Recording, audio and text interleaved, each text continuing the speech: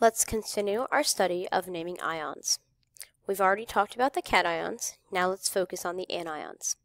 The anions are the negative ions, and we're going to have to do some changes to these.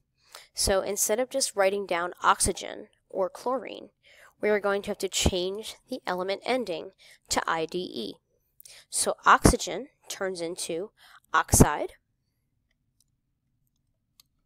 fluorine changes to fluoride, and phosphorus changes to phosphide. As you practice these, you'll get better with them over time. Unfortunately, it's not a general rule or a set in stone rule that's like, oh, you just remove the last syllable or the last two syllables and replace it with IDE. It 100% depends on the element. At this time, please pause the video and try the practice problems.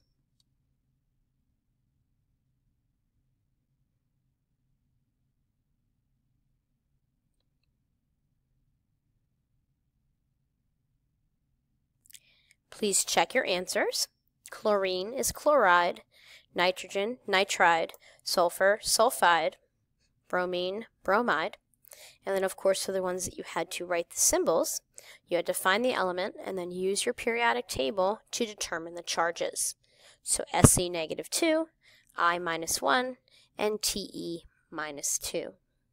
Now, let's put it all together.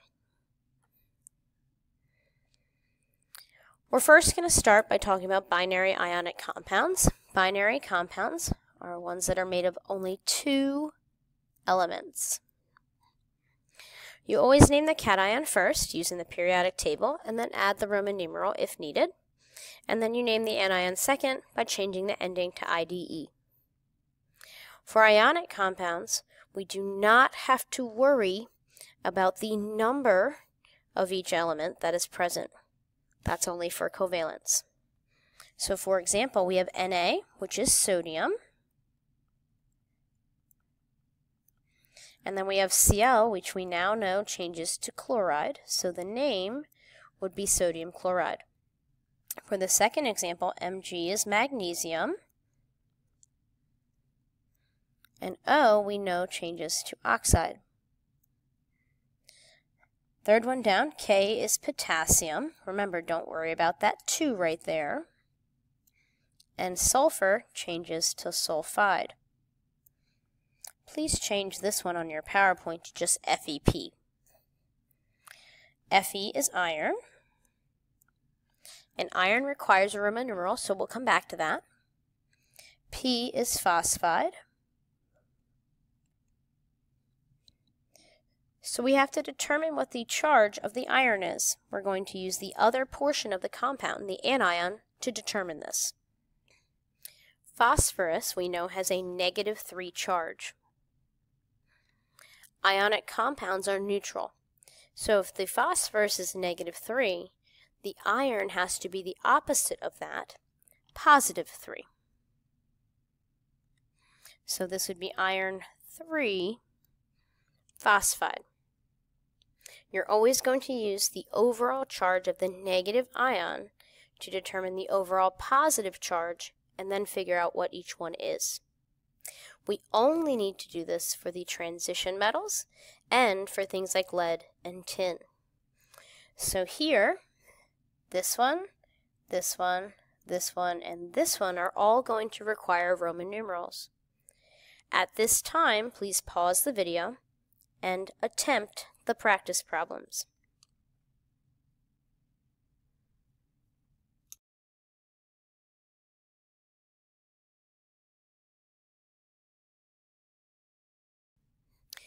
Please check your answers.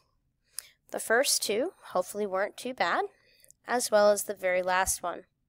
So potassium chloride, sodium nitride, and then sodium selenide. The other ones required Roman numerals. Let's discuss this. So nitrogen has a negative 3 charge. Therefore, to counter that, chromium has to be positive 3, which is why it gets a 3 as its Roman numeral. Let's skip the next one for just a second. Oxygen, we know, is negative 2. Therefore, our lead had to be positive 2. In the other example, oxygen is negative 2, but there are two of them. So we multiply that for an overall negative charge of negative 4. Therefore, the lead has to be positive 4. We have to do something very similar with the SC one. So SC3P2. Phosphorus is negative 3 times 2, so it's negative 6.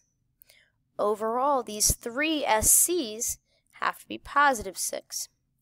But when we write the Roman numeral, we only want the Roman numeral for one SC.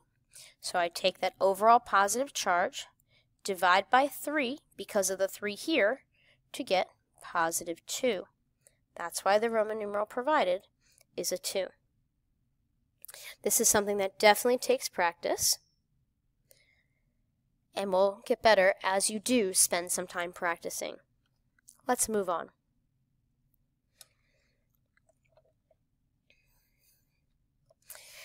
Let's go the opposite direction. So instead of being given the formula and writing the name, let's be given the name and write the formula. The method is often referred to as the crisscross method because you're going to crisscross your charges. So you cross your charges, you lose the positive and negative signs, and your charges become subscripts. And then you simplify if possible, so you want the lowest whole number ratios. Let's do some examples. Sodium oxide. So the first thing you want to do is identify what the charges are. So sodium we know is Na. Because of its location on the table, it's plus 1. Oxide is O, and it's negative 2. We are going to swap and drop the charges, or crisscross them. So it becomes Na2O1. Notice I didn't write the charges on there, and we usually don't write the 1. So Na2O would be the correct answer. Calcium fluoride, I do the same thing. It's calcium plus 2 because of its location. Fluorine is negative 1. So I cross those charges and I get CaF2. Again, remembering we don't need the 1s. Tin 4 sulfide. That 4 tells you the charge of tin. So Sn plus 4. Sulfide is negative 2. We cross them. Initially, you should get SN2, S4. But that's not the simplest it can possibly be. It's not as simplified as possible. 2 and 4 can be simplified to a 1 and a 2. So the better answer for this is SN, S2. I like to think of them as fractions. Does 2 over 4 simplify? If the answer is yes, simplify it. Aluminum nitride is Al plus 3. Nitride is negative 3.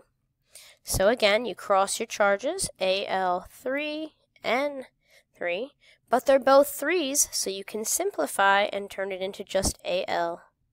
And that would be the answer that you would want for the test. I'd like you to give some of these a try. Okay, remember the Roman numeral corresponds only to the metal portion of the name, and you use your periodic table for the rest. At this time, please pause the video and attempt these practice problems.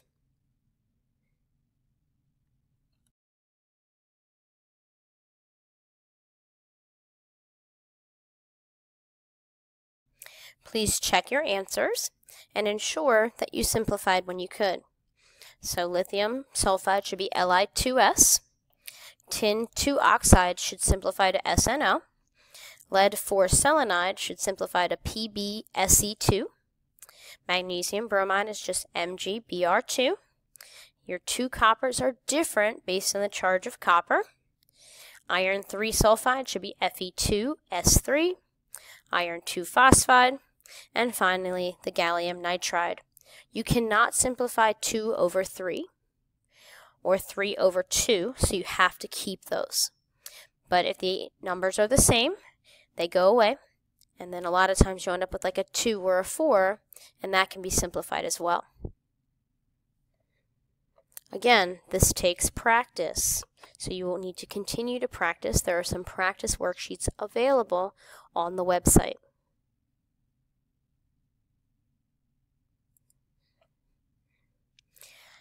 So far, all we've talked about are binary compounds, ones that only contain two elements. Those are monatomic ions. We also have something called a polyatomic ion. You would know that a polyatomic ion was present in a chemical formula because you would see three or more elements in that formula. When you name them, their names are also kind of weird. So they don't end in IDE most of the time. They usually end in ATE or ITE. A polyatomic ion, poly means many, and atomic stands for atoms. So it's a group of atoms that are covalently bonded.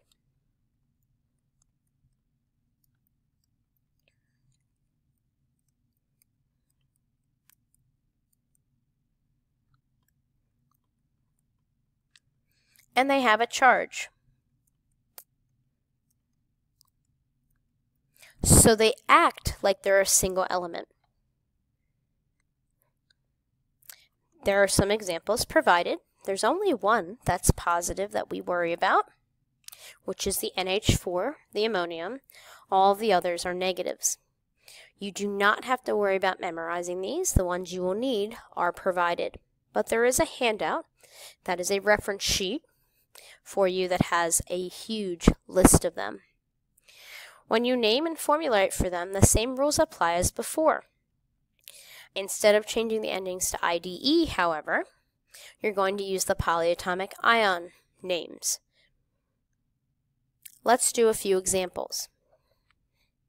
So here you can see, obviously these are all going to be polyatomic examples, but you would know this first one was because you see one, two, three elements, so that means polyatomic ion. Another clue is the parenthesis. That usually also means polyatomic ion. So NH4 is ammonium. And then the O is still oxide, so the same rules apply for everything else. Here we have a copper, or Cu. It's going to need a Roman numeral. And then SO3 is sulfite. So to determine the Roman numeral, it's the same as before. Sulfite is negative 2, therefore copper must be positive 2. So it's copper 2 sulfite. Acetate's not provided here, but it is C2H3O2 with a negative 1. Sorry about that. And so we're going to cross our charges just like before. So it's going to become Mg and then C2H3O2 2. So let's kind of talk about that. Mg has a plus 2 charge, and we have to crisscross our charges. Because I have more than one of my polyatomic ion, I need a way to indicate that. So I put the polyatomic ion in a parenthesis, and I put the number outside. Iron 2 phosphate means it's iron plus 2. Phosphate's over here, and it's PO4 negative 3. We're still crossing our charges, nothing else. So this 4 stays. So when I write its formula, it's Fe3 from here, and I'm going to put my PO4 in parentheses with a 2. Do not lose the 4. The 4 is what makes phosphate phosphate. Again, this takes practice.